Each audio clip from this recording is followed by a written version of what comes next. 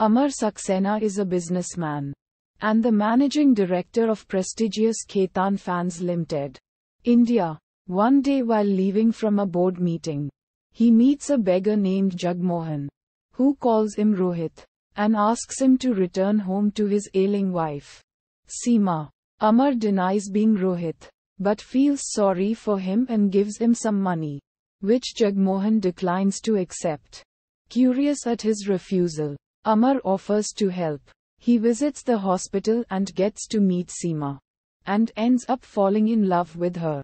What he does not know that Jagmohan and Seema are plainclothes police officers who have been assigned to arrest him for the murder of Ram Kumar Saxena. Amar's uncle. Using his wits, Amar manages to convince the court that he is of unsound mind and thus escapes being imprisoned and ends up in an asylum.